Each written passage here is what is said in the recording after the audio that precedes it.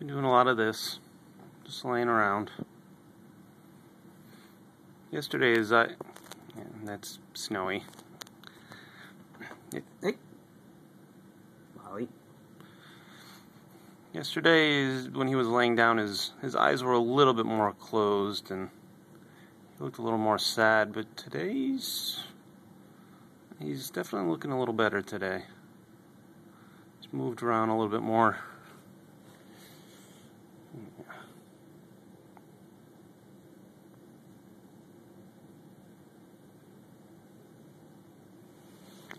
He's always been.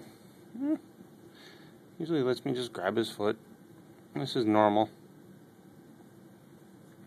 No, he's let me do that before. He's always been pretty relaxed when he's laying down with me.